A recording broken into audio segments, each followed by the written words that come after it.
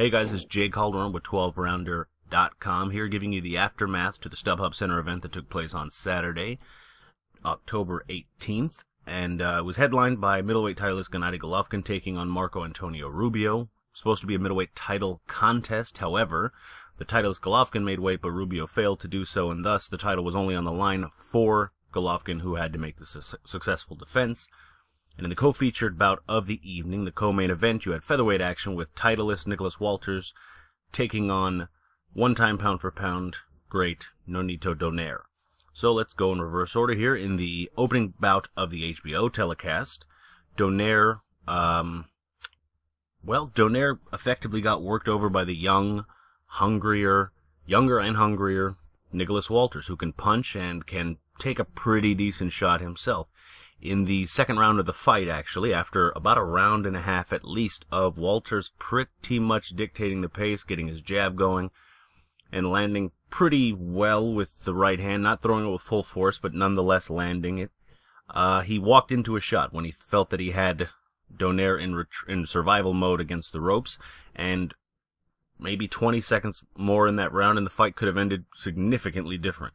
Uh, in the end, however, he was saved by the bell to a certain extent as he stayed on his feet and action was stopped for the time being, and then they went into the third round. And that was the round in which Walters continued to prove that, again, he can take a shot, he can recover from that shot, and he effectively is just catching Donaire at the right time. He caught him at the right time in terms of the ending shot at the end, or in the beginning, or the in the midst rather of the sixth round when he landed that beautiful right hand that ultimately ended the contest. It was an overhand right to the temple, which obviously, as if anyone that's watched boxing knows, that can definitely end a fight when it's a temple shot, and especially when the guy can bang to begin with. And it was one of those situations where it just seemed to be everything caught Donaire at the right time. He's coming off of some sort of confidence killing performances, seems to be aging a bit, and Walter seems to be rolling off the Vic Darchinyan performance, and he does have power, he does have some solid fundamentals, whereas Donaire was not necessarily a fundamentals guy. He was a, a reflex speed and power guy. While the power might be there and the speed to an extent is still there, the reflexes weren't there, and he was fighting a bigger, stronger, longer, fundamentally sound guy who can bang. And that's the last thing you want to be facing. Ask anyone from Roy Jones to to even Naseem Hamed to a certain extent when those sort of guys that have their own unique style face that guy who is just fundamentally sound. They tend to walk into some trouble. And then you couple that with everything else that Donaire had to deal with in terms of again the shaking of his confidence, so on and so forth, his age, and it's just obviously spelled disaster in the end. Um, it's going to be interesting to see what Walters can do against someone like Vasyl Lomachenko, who is fundamentally sound as well. Doesn't bang as hard, but certainly has more speed and is a more established and has a, a, a more thorough pedigree in the amateur ranks, certainly, with being, you know, perhaps one of the greatest Olympic Olympians in boxing of all time. So his future is certainly going to be very interesting. Even a fighter like Johnny Gonzalez, who can bang a bit and can box a bit as well, would be a pretty interesting contest. For Donaire, you know, uh, perhaps a move down was somewhat suggested in the post-fight interview, but staying at the weight could be a bit troublesome, and making weight moving down could be a bit troublesome. So his future certainly is interesting, but for an entirely different reason. Getting into the main event here. Getting into the main event here, you had Golovkin and Rubio was supposed to was billed as this Mexican style fight. There was supposed to be some dramatics in this fight. Maybe Golovkin would be stretched a bit. Maybe Rubio's size, his height, the fact that he came in overweight might have helped him potentially take shots a bit better and land with more, you know, with more weight, literally more weight behind those shots.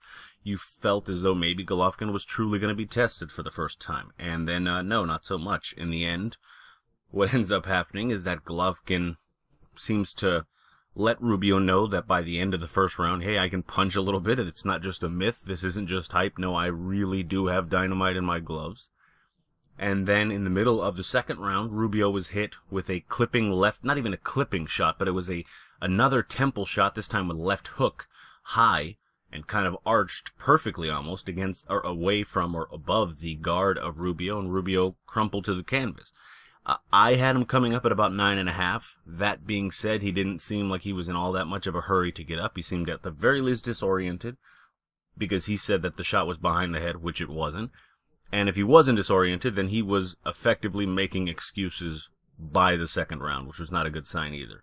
In the end, it was academic. Uh, after it was all said and done, Golovkin showed he definitely had power. Rubio, while he protested at the end of the fight, didn't seem all that bent out of shape that it was over. And Golovkin picks up yet another win, extending his knockout streak, extending his, or, or improving upon his KO ratio keeping all of his, relatively speaking, meaningless titles at the weight, but nonetheless proving to be, and this is more important than those titles, proving to be a star in the division. I mean, he sold out to capacity the StubHub Center, uh, had most of the fans in a very predominantly Mexican area, Southern California, rooting for him, chanting his name before the fight. He certainly has improved his prospects for the future, and they were already improving prior to this fight. But it gives people in the middleweight division that might not have had so much incentive to fight him, at least enough incentive to perhaps entertain the idea of taking on such a risky, still not a major attraction fighter like Golovkin. On the East Coast again in um, Madison Square Garden, Golovkin's turnout wasn't as significant, but the West Coast, especially the StubHub Center in Carson there, is really booming and it loves its boxing and they are certainly on the bandwagon of Gennady Golovkin. For Rubio, the future seems a bit dim. Uh, he was known as a durable guy that could give a guy a test. This certainly doesn't help that image. And he's a strong enough test that you don't necessarily want to put a guy in until they're, you're absolutely sure or pretty sure that he's going to beat Rubio. And Rubio has pretty much stayed his, overstayed his welcome as just a sort of gatekeeper that you can take on when you need a decent name. I mean, Chavez has done it now. They tried with Lemieux at the very least, didn't work out so well there, and that's David Lemieux, of course, from Canada. And you have now Golovkin wiping him out in two rounds. Again, his future does seem dim, but that being said, he still can bang. He's still usually an exciting fighter, so future remains to be seen for him. In any event, those are the fights. That's what uh, that's what we were experiencing this night. It was a pretty fun uh, bit of action. It was nice and quick to the point, but we also saw some skill. It wasn't just two barbarians slapping each other in the head with a couple of rocks. So it was a pretty good fight, or pretty good couple of fights, and I'm interested, of course, in hearing your take on them. What do you think? What you like? What you, what didn't you like? Your predictions come true. Did you? What do you think's the future for guys like Golovkin and Walters, especially the winners of this fight? And in a certain sense, what do you think are the future? What, what do you think is the future for Donaire, once great, who seems to be fading quite rapidly before our eyes? Uh, tell us in the comments section below, and of course on Twitter at 12rounder boxing. Be sure to follow, share, like, subscribe, all that great stuff, and be sure to visit 12rounder.com. And until next time, enjoy the fights.